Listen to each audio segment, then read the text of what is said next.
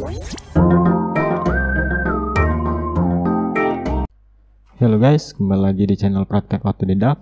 Pada video kali ini adalah cara mengatasi permasalahan touchpad laptop yang tidak berfungsi. Bisa kalian lihat, touchpadnya saya gerakkan tapi tetap tidak bisa menggerakkan kursor di layar.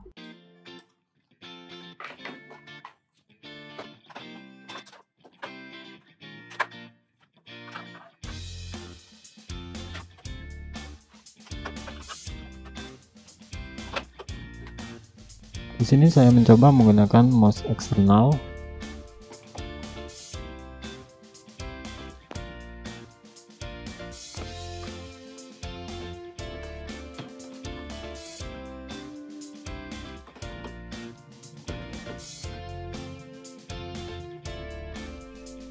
Dan bisa kalian lihat kursor di layar masih berfungsi.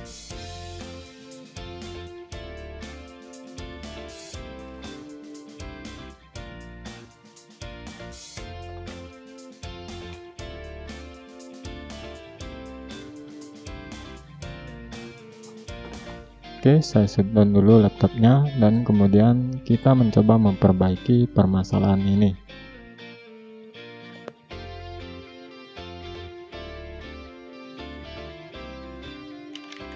Di sini laptopnya sudah dibongkar ya.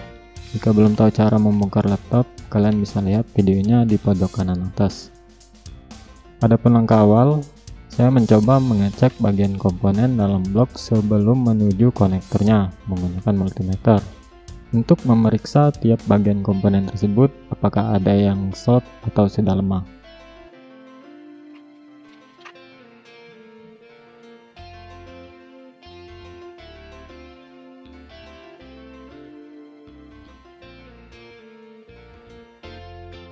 Oke, sepertinya tidak ada masalah dari sisi mainboard. Kemudian kita lepas kabel fleksibelnya, lalu bersihkan pin konektornya menggunakan kuas.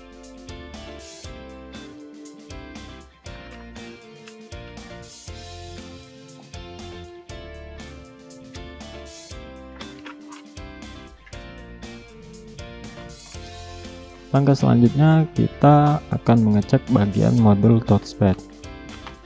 Sedikit catatan, kalian bisa melewati langkah ini jika belum memahami elektronika dan langsung ke langkah terakhir yaitu mengganti kabel fleksibel. Oke lanjut, kita buka terlebih dahulu perekat yang menutup modul berwarna putih ini.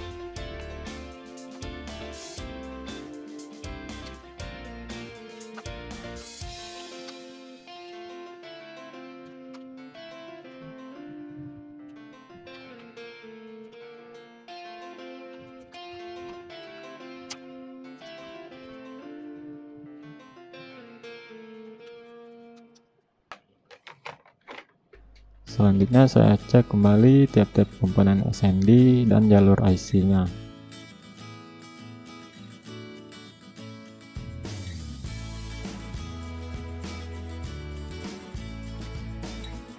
Namun, saya masih tidak menemukan permasalahan dari sisi modelnya.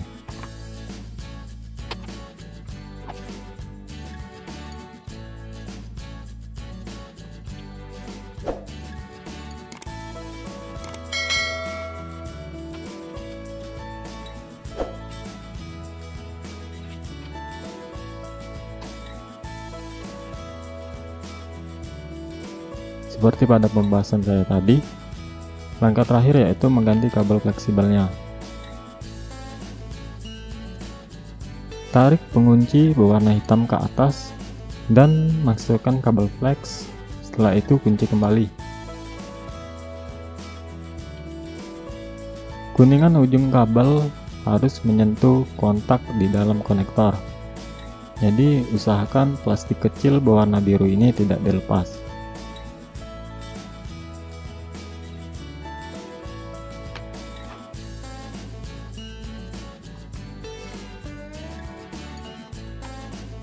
Lakukan hal yang sama saat memasang kabelnya dari sisi mainboard. Oke, di sini saya mencoba memasang kembali casing laptopnya dan memulai melakukan pengujian.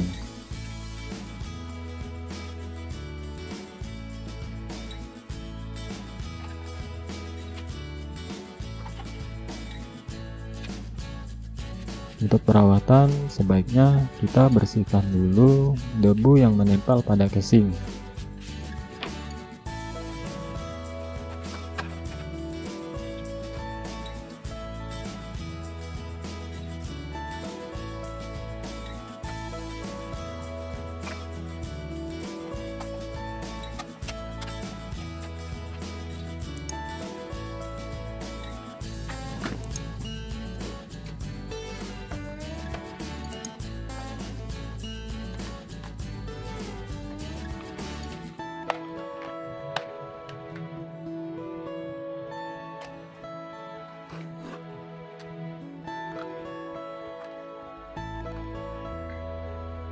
Oke, saya coba nyalakan kembali dan mencoba testing.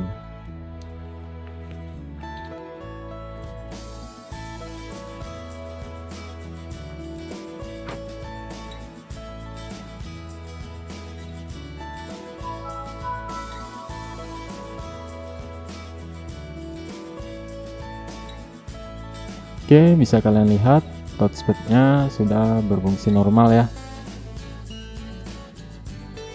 Dari sisi kursor ataupun tombol klik kanan dan kirinya. Jadi kesimpulannya, penyebab touchpad yang tidak berfungsi pada pemasangan ini disebabkan dari sisi hardware, yaitu kabel fleksibelnya yang sudah rusak ataupun konektor kabelnya yang kotor.